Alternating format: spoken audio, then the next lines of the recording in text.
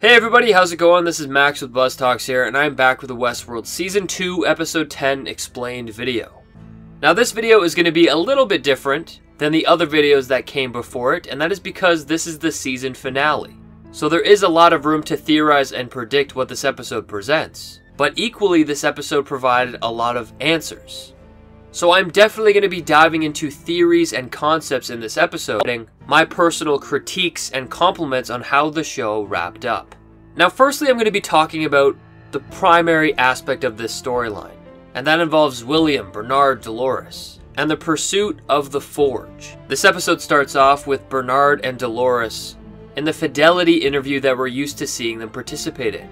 And we see Bernard asking, is this now? And Dolores pitches in saying that he's almost a man that she remembers. But she notices that Bernard has these flaws, and she has this inner debate on whether to create a unique person from Arnold. Because Arnold was a great person, but at the same time, Arnold never made it. So this scene further insinuates that Dolores altered Bernard, because the concept of mistake leads to evolution and creates a better person. And that's the debate that Ford has. Instead of a human being transferred over into a host body, it is much better to create original work. Because hosts have the opportunity to be better than humans. And Dolores gave Bernard that chance. I want this concept of Dolores to be fleshed out much further. We learned that a couple episodes earlier that Ford had Dolores and Bernard testing for fidelity inside of the cradle. But regardless of that, Dolores still remembers all of the testing that she did on Bernard. And even though we saw Dolores achieve consciousness in season 1, we still see her illustrating characteristics of self thought. Her deciding to capitalize on the mistakes of Bernard shows that she, was approaching consciousness even before season 1. So, this is a story arc that I very much like. I just think it needs to be fleshed out further to make sense in the overall story of Dolores achieving consciousness. But after this, we see everybody journeying to the valley. We see Bernard going for a drive there we see Dolores holding Teddy. We get a clear example here that the brain capsules are in fact bulletproof, which really hints to us that every host essentially has a chance at being resurrected. It just depends who comes into contact with the marble inside of their head. And the majority of these hosts that we've lost this season definitely have the potential to come back. We have Lawrence, Armistice, Hector, Maeve, and even though the cradle has been destroyed, the one thing that we know hasn't been destroyed is the marble that lives within their head.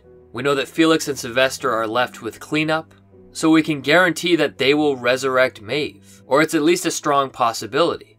And Maeve will probably focus on certain hosts to be resurrected. She had a relationship with Lawrence, with Armistice, with Hector. And these have been characters that have been developed so strongly by the show, and audience members love it. So I don't think we're going to say goodbye to every single one of these hosts just yet. But after Dolores moves on from Teddy, she journeys towards the valley. And in her journey, she stumbles across William. And her seeing William cut at his own wrist does look at his own sense of sanity. He's cutting his wrist because he almost can't believe the choices that he made. And he's on that constant journey of self discovery. So Dolores draws attention to the fact that she saw Emily's body riding up the trail and William comments that him and Dolores have more in common than she thinks. And Dolores immediately cuts William off and calls him a monster. But then she says something that rather confused me. I'm pretty sure she said all monsters need to journey or make it to the valley beyond. So she has William come with her. So I have to say this plot point specifically, I don't necessarily understand it. I don't know why Dolores would just welcome William with open arms. And I don't know why William would accept that help and it lasted for literally five minutes until he decided to betray them. So personally, I have some confusion with how this scene was handled, especially with the connection of William and Dolores. The one key issue I have in this episode is how they handled William. I thought William as a character was hugely underserviced. And I'm getting nervous at how the showrunners are going to be pushing this character William. Because I believe he is such an in-depth and developed character. And we especially see that in episode 9. And I feel like all that character development that they set up in episode 9 really came to nothing in this episode. They chalked William up as nothing but a villain. Dolores draws connections to William of being a monster, but is he really? He's a man who we even hear in episode 2 said that he did what he did. He was the villain because the stakes weren't real. And I think the reason that he played the villain role goes much deeper than the showrunners are letting on. He fell in love with Dolores. He found himself in Westworld. He believed that that world had stakes, and he admitted in episode 9 that he felt like he belonged in Westworld. He's a man who belongs in the wrong world. And I feel like that was immediately undermined this whole episode, especially William with the concept of choice. And I'll get into it later, but I honestly think they could be pushing this type of storyline, fleshing William out more in the future. William is all about choices, and the host that was created in, the end credit scene said that he wanted to prove that no choice could make him who he is. And I believe that speaks to William's complexity. Because William's formula followed every choice that every individual made, you would find out who they are. But every choice William has made in his life has been to hide who he truly is. He was the philanthropist to hide that he was a man who belonged in Westworld, and that's the stain. And he went into Westworld to play the villain to make everybody seem more real, so he'd feel that belonging in that world. So I don't think I'm ever going to understand William's storyline this episode. Because as we see Clementine journeying to the valley, Akecheta and his host journeying to the valley, and Bernard going to the valley, we see William and Dolores riding amongst Akecheta and his men journeying to the valley beyond and the forge. And Dolores tells William that the hosts want a place apart from the humans, and they will die to get there. And that's her talking about the door. The door into that simulation, where the hosts are free to do as they please without human tampering. But Dolores says, however, that she's after the same thing as William. She says to him that he wanted the answer to immortality, but he found something else. Something that he wanted to destroy. And throughout this whole season, we've known that Williams wanted to destroy the Valley Beyond. And that's because of the judgment that's been passed on him. He doesn't like that he's been associated as this psychopathic villain. And he finds that out from Ford in episode 9. He doesn't like the self portrait of the park that has been made for him. And I think William has trouble with the verdict because that's not really who he is. But one issue I have with this episode is that it very much focuses in on William's desire to destroy the Forge, or the Valley Beyond, or his biggest mistake. But this episode immediately discounted or eliminated the storyline that Ford had for William. William started the storyline, and Ford told him, You begin where you end, and you end where you began. And he was meant to find the door. But what we find out in this episode is that Ford's storyline didn't really mean anything to William at all, even though it was so focused around him this season. Ford even told William that him finding the door was a game meant for him. And through his journey, William had people like Milazzo tell him that he would be seen in the valley beyond. But all that information that they've been dropping throughout every single episode of this season went pretty much unnoticed. Ford's storyline turned to nothing. William never found the door because the door was just a simulation. We never even see William go into the forge. And all that in depth character development that made him not look like a bad person was thrown out of the window this episode to paint him as a one sided, idiotic villain. So with William, we got no payoff on what he actually wanted to do, which was to destroy the Forge or his biggest mistake, and we didn't see the payoff of him pursuing Ford's storyline. So I hope that they dive into these concepts further in the next season. But I'm a little worried because the producers of the show talk about William in a very negative light. They talk about him as this just villain and this monster, even though they've developed this amazingly in depth character. But then we see Bernard make it to the trap door. This door essentially takes him to the forge. And just before Bernard gets in trouble, he gets rescued by Dolores and William. They come in and kill all the soldiers, and William learns that Bernard is Arnold, the person who he's always been looking for. And then we get this reveal by Dolores that Ford didn't build Bernard, she did because she believed Bernard was best to have some mistakes and not be based off of Arnold. Now, I am glad that they went this way with the show. I think Bernard becomes a more significant and powerful character if you have him find himself, rather than him being based off of someone else. All that testing they did on fidelity and transferring consciousness, I thought it would be the perfect wrap up to do it with William, as I thought he would be the perfect person to transfer into a host body. But they decided not to do it, so I'm interested to see how they're going to integrate this fidelity testing and human to host consciousness in the upcoming seasons. And it's very clear that they're doing this with William very, very far in the future. But during all this, William starts shooting at Dolores. And this is what he does now, and this is what he's going to be doing in the future in every single fidelity test. So William shoots her multiple times and realizes that she can't die. And Dolores essentially says that this is why humans want to transfer into host bodies, that they're better than them in any way. And this shooting, I understand. Dolores takes gunshots like a champion. But what makes me ask questions is that I feel like the writers selectively pick which hosts can take the most damage. The biggest threat that we were introduced in this season died in two shots, and it wasn't even one to the head. But Dolores can take multiple shots, so I'm having trouble drawing connections between these inconsistencies.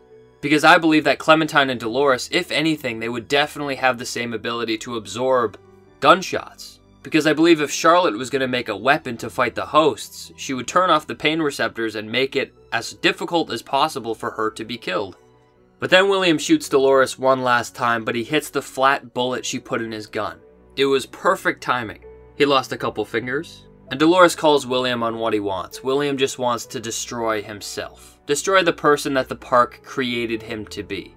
But then after her telling this to William, she leaves him behind and she makes her way into the forge. And then after that moment, William becomes essentially useless. He doesn't apply anything to the plot, he doesn't pursue any of the drives that he was given this season, and he just sits there with popped off fingers because they turned him into this one dimensional villain. So, what made me disappointed with this episode above all is the treatment of William as a character, especially since they fleshed him out so well in the previous nine episodes. But then they flash to the present, and we get a lot of these jump in timelines between Dolores and Bernard in the Forge versus Bernard going there with Strand, Charlotte, and their team in the present. And Strand says that when they get the key, they will unlock all the assets and send it back to Delos. But then Strand, Charlotte, and the others make it to the Forge. And this is where we learn that there are 4 million souls, or people, that have been copied onto the Forge. So that provides context that Dolores had the ability to learn up to 4 million people's full blown cognition and understand everything who they are as a person. And Dolores essentially knows more about every single person on this earth because she knows the base code of what makes humans humans. And it dives into that further how we have a very simple cognition. It's it's human nature to survive. And every single individual is boiled down to a simple idyllic form of code that pushes us to survive. And then there's the small intricacies of additional code for every single human. And the one big plot twist that kind of blew my mind is that you saw dead Dolores initially. And then they hold Bernard at gunpoint to find out how she died. But then once again, it flashes to the past, we see Dolores and Bernard in the forge. And then we get our first hint at the Valley Beyond, where Dolores says that there is an entry to another land here, but she's not interested in that land. She's interested in mankind's undoing. So then they implement Abernathy's key and then they enter the forge. And what I will say is that this door into this simulated area kind of came out of nowhere. I feel like there was no concrete hints or evidence that would lead anyone to believe that this would be a simulated environment. The only hint that we got was Akecheta's vision on what the door is. He said that it's a place free from human control, where he can be reunited with Kohana. And I find it very weird that Akecheta was right, seeing that he had no idea of knowing any of the answers. But anyways, they enter the forge, and this is the area where the 4 million human souls are being stored. And we learn that the forge is an accumulation of everything. We see Westworld, it turns into facilities and modern events, and pretty much they all stem from James Delos' memories. So we learn later while Bernard and Dolores are in the Mariposa that they're using this forge to test James Delos. And we find out that this is what James Delos did when he was actually in the park. And it's that constant want to recreate exactly what James Delos did, and then you get a predicted actual copy of James Delos, theoretically. But then when they walk out of the Mariposa, James Delos seems to be insane. He has all the guests lined up and he's shooting them one by one. And these are recreations of James Delos that don't necessarily work because small because as Bernard says, small changes in programming yield large changes in behavior. And that concept of sanity is an interesting concept because Bernard says that humans classify being sane in a very small range of behaviors. And we've seen James Delos before enter insanity when he was a host and he found out his kids were dead and his wife was dead. It broke him and he became insane. And that feeds into what William was saying all along is that the mind doesn't accept the new reality. Having human consciousness and being transferred into an immortal body would make you insane and it would question your reality and it would go against everything that you believe to be true. And they kept mentioning that this season, that that was a technological advancement that they were stuck on. They couldn't put a human mind into a host. That's why I thought William would be the perfect candidate, as he's been on that journey himself. He's been questioning his sanity in his existing real world because he belongs so much to Westworld. He's the opposite case of James Delos, where a body transfer into a host would actually make sense for his character. But anyways, we see Dolores start trying to look for this weapon that she speaks of. This vast array of knowledge that she can use against her enemies. And I think because of Ford or because of Bernard, it is aiding them in finding this tool because they immediately walk straight into a modern party 30 years ago, straight from James Delos' memory. Bernard and Dolores end up meeting up with Logan. And Dolores is shocked that Logan is even there because he never came back to the park after he went with William in season 1 which means that the system shouldn't have a copy of him because they weren't spying on the guests until William came into charge. And that fascinates me even more because it tells me that Westworld doesn't have an accurate copy of William. He's less than 1% of anyone's match because they never saw William be a good guy. They don't understand the complexity of his character, but Ford does. And I believe that's why William went on that journey that Ford had for him the journey of self discovery, of finding the door. Which at this point, I keep talking about it and talking about it because I feel like all the plot points are there and they haven't been capitalized on in this episode, which leads me to believe that it has to be put on hold for future seasons. Or at least a guy's gotta hope. Another interesting concept is that Logan says that he's imperfect because he's based off his father's memories. And we learn this with Dolores also, that she created Bernard based on her memories of Arnold. So immortality is possible through the eyes of someone else, which I think raises a lot of possibilities for the future of the show. Obviously, you have the philosophical question as to is this printed individual the same copy as the physical person before? But that means a lot of characters can be reprinted based on the memories of others. And that's the key quote is you only live as long as the last person who remembers you. William will live forever through Dolores because at one point in his life he was in love with her. So that William has a chance at coming back, much like every single character that Bernard, Dolores, Maeve, or anyone else interacts with. Because whoever these hosts remember can easily be conjured back up into an immortal body. What I will say is that Logan playing the role of the creator of the Forge and the guy controlling the Forge and being in charge of printing accurate human copies, I thought was a little out of left field. I don't know what qualifies a printed Logan to take on this role, but I guess it's nice to have an old character from a previous season take on that role, because it's a familiar face. And Logan walks them through the Forge, and we learn a lot of valuable things that the Forge can offer. Logan was able to make about 18 million versions of James Delos until he found a host that made the exact same choices as James Delos made in the park. Now, the simulation concept is huge because you can recreate everything at a much faster speed. It jumpstarts human to host consciousness. And if they continue with simulations in the future, in future seasons, I think this will definitely be a concept that can be explored. And another key concept that will definitely be explored is putting that consciousness into a physical body. Logan says that once they printed this copy of James Delos, this perfect copy, it failed. And I think that answer of how to fix that transfer will definitely come up in a later season, especially since we're seeing that testing with William take place right now. And one key concept that fleshes that out further is Logan said that he wanted to understand fidelity at a deeper level. He didn't just look at the decisions in the park, but he looked at the decisions that were undergone in one's life. He wanted to know why each individual made the decisions that they made. And while I think that could be applied to William to make a really interesting story, the show came to its own conclusion. And that conclusion is that humans never come to their own decisions. They're just following their own strict code of survival. For proof, Logan takes Dolores and Bernard to watch an interaction between James Delos and himself before he overdosed on drugs. And this was a great scene to get a deeper understanding of Logan, and I do like how he said that he's at the bottom. And he asked James if he wanted to see what he saw. And that plays directly back to James Delos when he went insane with Bernard and Elsie. He said that he's at the bottom, and he asked Bernard if he wants to see what he sees. So I thought that that was an interesting parallel. But Logan ends up saying that James Delos had a million different pathways, but they always ended up at this very moment of James Delos and his son.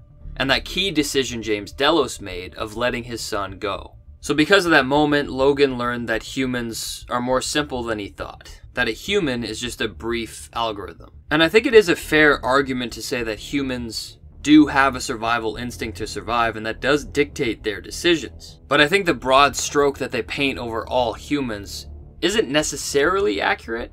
Because what I'm trying to understand is how does James Delos abandon his son, and how does that factor into his brief human code that Logan figured out, because another individual would take in his son. So, how did that very moment between Logan and his father communicate to Logan that humans are so simple? So, that's a part of this show that I don't necessarily understand. And Logan goes on saying that they created every guest in the park, most of them are soft, and they jump between love and pride. But Logan says that there are exceptions, the ones that are irredeemable, and then they look at William. And that once again pushes this annoying thing that I hate that William is this straight up villain who has no complexity, and all the setup that we've been through in episode 9 with him means nothing. So I'd like to see them explore this hypothesis later in the show. Logan keeps saying that humans aren't in control of their actions, that they stick to their code. But of course, that code that they have is just the foundation of who each individual is. Not every person is this irredeemable person like William, and the ability to survive isn't this inherently evil thing. So I do have a lot of questions on their hypothesis there. But after all this rundown, Bernard learns that he actually was the one who set up this place, who was talking to Logan, and who was instructing Logan to prepare the forge for Dolores. And then they finally make it to the library, which is the perfect competitive advantage for Dolores to learn about her enemy. And they make it very clear that it's going to be hard for them to survive out there and fight against the humans, but armed with this knowledge, they'll have a chance.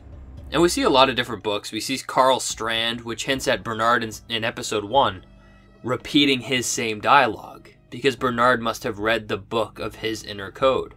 And then there's Charlotte Hale, and that plays a big role in this whole season, as Dolores was in Charlotte Hale's body this whole time.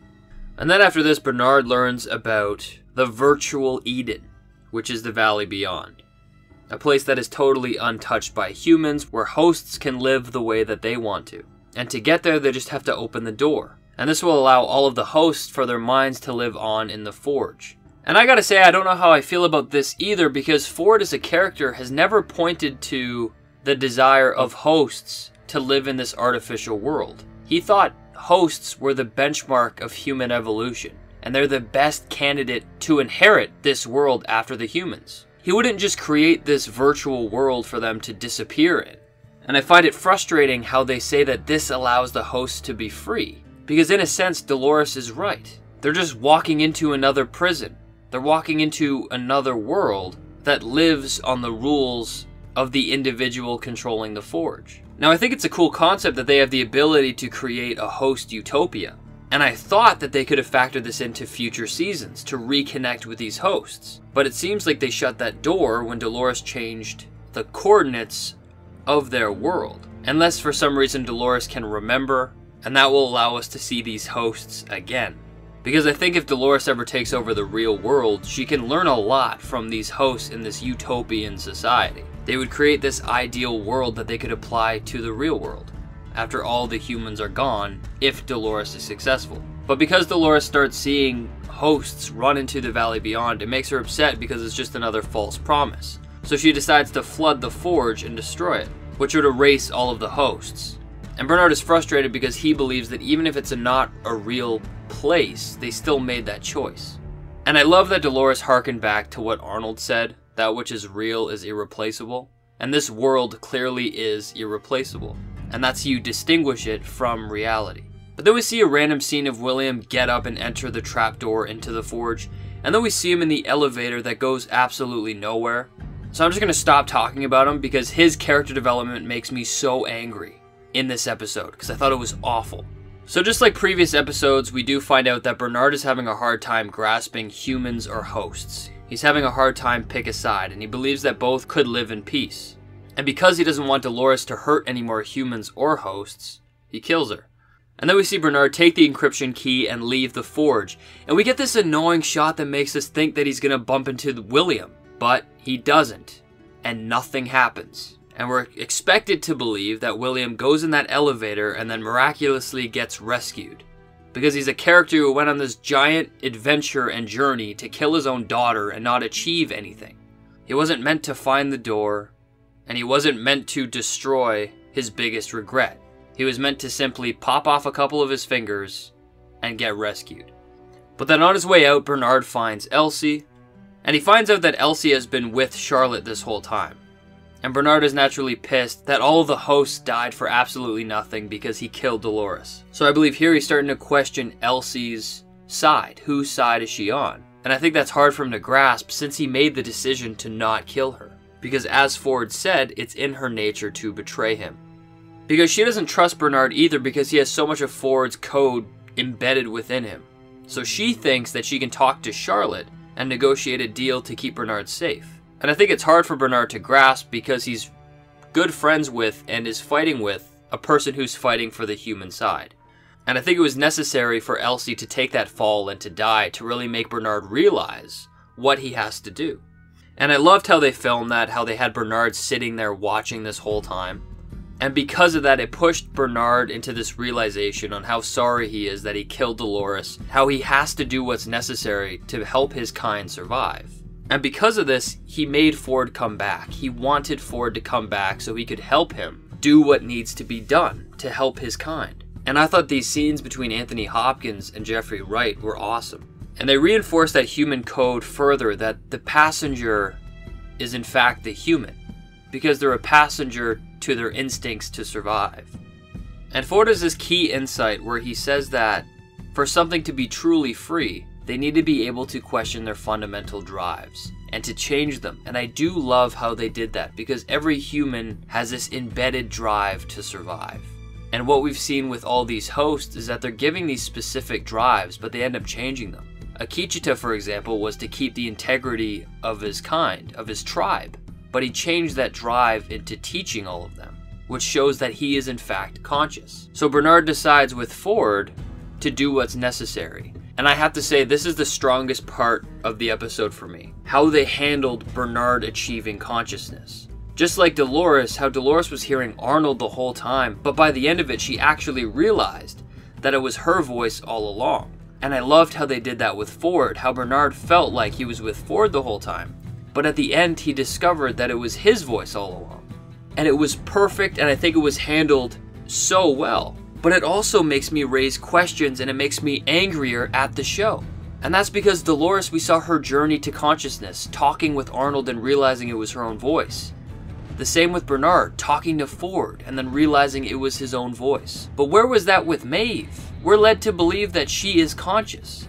Even though in season 1, Ford told her everything to do, she was coded to do those things. She had no voice in her head. And then we're supposed to believe that she's conscious this season? On top of that, Ford told her that she was always his favorite. And I thought that was unnecessary, and I thought it would be so much more impactful if Ford told Bernard that he was his favorite. That he loves Bernard as a person and he loves that he's different than Arnold. And that would make even more sense that we see Arnold be the voice for Dolores because she is Arnold's favorite. And I think it would be a great parallel to have Bernard be Ford's favorite and Ford be the voice for Bernard to achieve consciousness. So I feel like it's annoying because I'm seeing this plot and I feel like it could be reworked in a way more effective way. And I feel like Maeve's journey to consciousness doesn't really make any sense. And what reaffirms this to me is how amazingly done and how effective Bernard's journey to consciousness was. And how that follows the rules that they've set before us, where Maeve's doesn't. But on this journey, we see Bernard and Ford fixing everything. They're building a body, they're building a skull. they're really building Charlotte. And then Bernard scrambles his memories so nobody can piece together what he's done. And while we learn all this, we see the present timeline, where the control module that they put in the system is actually a virus, and it's not the guest data that they thought.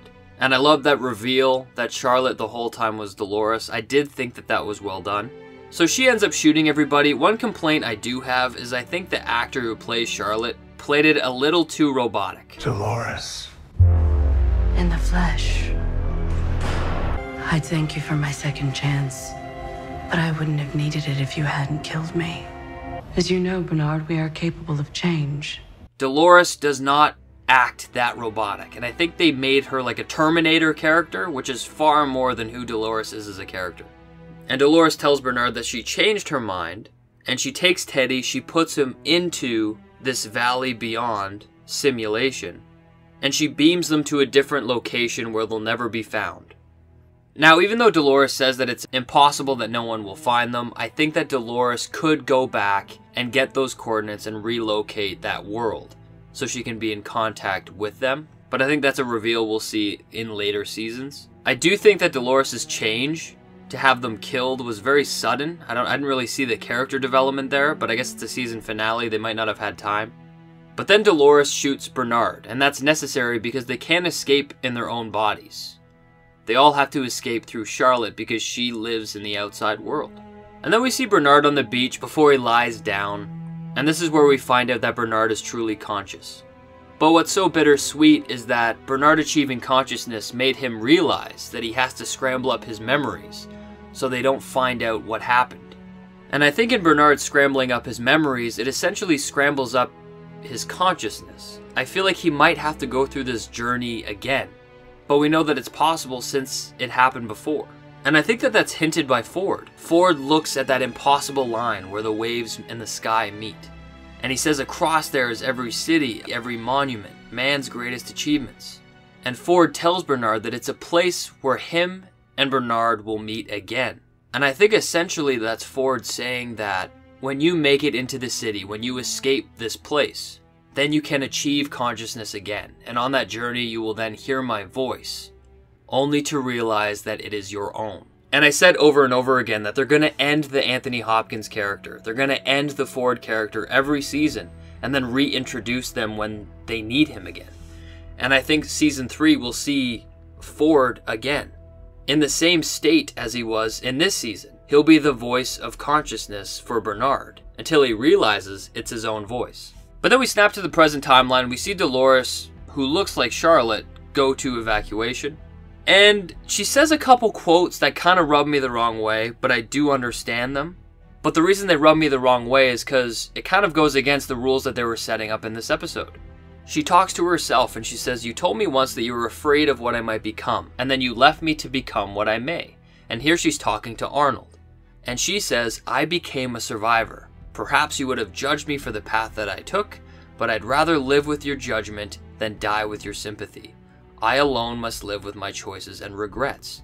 And her living as a survivor puts her in the same place as every single human and every single base code that every single human has that they've touched on throughout this episode. So if Dolores' core drive is now survival, what makes her better than humans? Is it just the fact that she can change it whenever she wants? Because it seems like the biggest issue that they have with humans is that they're so simple and they're slaves to their cognition of survival. But the hosts have to stay true to their survival in order for them to be free.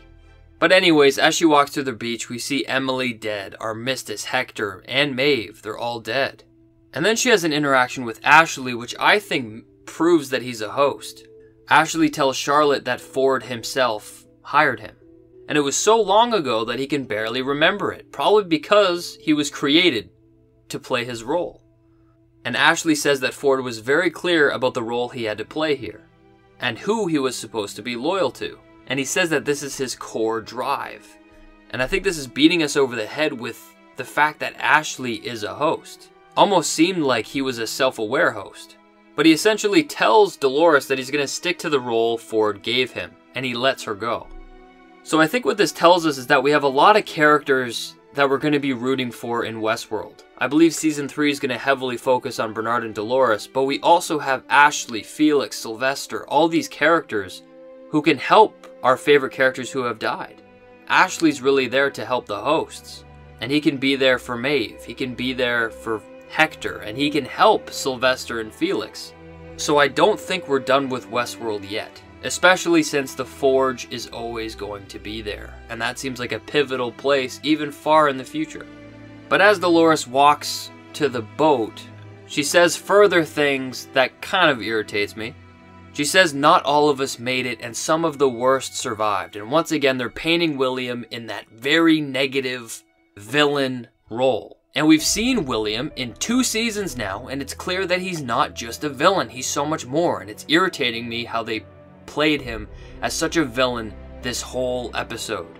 And we see Ashley tending to him because he's a high priority guest. And then when we look at William sitting there with his fingers lopped off, we realize that really he achieved nothing. So I'm irritated as a fan because William is one of my favorite characters, and all the character development they did on him was a giant waste of time. To the point where now I'm annoyed because we're seeing this future William do fidelity tests, and I know for a fact that this is the William who they've created based on the choices that he's made, and that's so much more than the character. William is the one character who can't be defined by his choices because his choices are used to hide who he is. I'm gonna stop with my rant. But anyways, we see Dolores going away with five pearls, and these are host brains. So I think some of these pearls are going to be characters that we know, but it's hard to think as to what control modules Dolores got her hands on. I'm sure she has Abernathy. She wouldn't let go of her father. And it's 100% confirmed that she has Bernard. But other than that, what kind of host would be enough for Dolores to grab and save? I don't think she had a chance to grab Maeve. And I don't think she's attached enough to our Armistice or Hector. Those are henchmen type characters. I will play a guess and say that one of them is actually Lawrence. Maybe his body after he was shot was transferred into the Mesa and Dolores was able to harvest his marble. The reason she would pick Lawrence is because she actually went on a journey with Lawrence with William 30 years earlier. We know for a fact it's not Teddy because she left him in the valley beyond alone. The poor guy, his cornerstone is Dolores and she's nowhere to be found. And he's stuck in this place with a bunch of people who he doesn't know. But other than those characters, I don't know where else she could have gotten those marbles from. It could be possible that she could have extracted some from the Forge of models of characters that she always wanted. But I think regardless, these people that Dolores has has to be an ally for both her and Bernard. And they have this weird thing now where Dolores is the villain and Bernard is the hero. But I think Dolores picked a couple of hosts that can aid both of them in their journey. Another host could be Angela. If Dolores could somehow harvest her exploded, burned up marble, I think that would be possible. But we know for a fact that one of these marbles are going to be pushed into Charlotte. And Charlotte's body is essentially a passenger to the marble that Dolores took. And as we see in the park, Felix and Sylvester are tasked to handling cleanup, and we know that Ashley's there and he's a host. So I think Maeve, Hector, Armistice, and these other hosts have some hope, and they can be saved by Felix and Sylvester. And I think the first person that they're going to resurrect is Maeve, and I think Maeve is going to have an intermission to save some of these key hosts. But anyways, Bernard awakes and asks if this is now and we find that Dolores and Bernard are in this new place. They're in Arnold's old home. So Dolores tells Bernard that Ford gave them a fighting chance by building them this place. And it seems like Dolores is going on her typical mission of human extinction. And Bernard says that he does not need a book to know her drives. Bernard knows that she's going to kill every human. And he says he cannot let that happen. And Dolores ends up agreeing. Dolores says that if she was human, she would have to let Bernard die but Dolores says it's going to take both of them to survive. Now, a part of me thinks that this is really stupid and cheesy, that Dolores is the hero and Bernard is the villain and blah blah blah. But I think they did this to prove that Dolores' core drive is not survival like the humans. She's better than the humans because she chose against the best course for survival. The human decision would be to kill Bernard, because that means that you have the ability to survive. It's human nature, it's human code. And Dolores went directly against that. She knows that bringing Bernard back to life goes against her chances of survival. but she's willing to make that choice anyway. But she tells Bernard that he will try and stop her, and both of them will probably die, but their kind will have endured. So I thought this interaction was good, even though the back and forth between them about Bernard being the hero and her being kind of the villain didn't necessarily work for me, and it was kind of a surprise. But then we see Dolores tell Charlotte that they have work to do, so we're going to see who this person is next season. And we'll get to see the kind of work that Dolores is trying to do. She's probably going to be trying to pursue people who she found in the library. She may be pursuing William or other characters that will give her the power to start exterminating these humans. And then we see Bernard put on his clothes and go through the house. And then we see him get a taste of freedom and walk into the city. And it ends with a great quote of Dolores that they each gave each other a beautiful gift, a choice, and now they are authors of their own story. So I think that essentially means they're breaking code. They can't be documented anymore. They can be who they want to be. So there are certain things in this season that I didn't like, but it leaves some excitement for season 3. But then it goes to the end credit scene of William. And in the present timeline, he went on that elevator and then got rescued on this totally useless mission. And we find out this time, he came down the elevator and entered the actual forge. Even though this time it was set way in the future. The place has been pretty much destroyed and the water has been emptied. And William is pretty self aware. He says that he knew it and he knows that he's in this thing. He thinks that he's in a simulation. But Emily tells him that the system is long gone and that he's not in a simulation. It's the real world. And we see him walk back into the James Delos testing site and William is aware that he's in his own park, and it seems like he's done the exact same choices as his first time in the park every single time, which further proves human nature, how they're very predictable. And I'm not really sure how long William's been in here, and I don't know how long they're going to stretch out this plot, because I think this was a long game end credit scene. I think this goes beyond season 3. And what he tells to Emily is interesting that he wants to prove that no system can tell him who he is, and that no matter what, he has a choice. But so far it's been proven that he's always made the same choice. And then they finished with an interview on fidelity. So I gotta say with this, I gotta give this further thought. His daughter's clearly a host, and the hosts want to test William for fidelity. I just don't know where the interest is in him anymore. And I had this theory that William was this unique character who'd be the one person who could effectively transfer over. It seems like they're not playing that storyline. So I'm actually interested to see what they do with the William character. I hope they just don't chalk him up as a villain going forward. I hope they don't do something cheesy like print him into a host body and make him become that movie type man in black, where he's just a straight up killer and they use him as a weapon. But I believe that they're not done with the Forge. I think we're going to see Dolores come back or another character come back because I think that this world, this Valley Beyond, can still be accessed. And I think the communication between these hosts living in this virtual world where they can build their own world from ground up could provide a lot of advice and knowledge to hosts living in the real world. But after all this, that takes us to Maeve's storyline, and to be honest, I thought her storyline was kind of two dimensional. This whole season, Maeve has spent her time finding her daughter, and it's been every single time not really reachable. We see her finally escape. She gets herself out. We see characters sacrifice themselves. We see Sizemore die for her, which leads to her finding the door and just in the end dying. I gotta say, what I do like with Maeve is that she proves so much of what the show is saying wrong.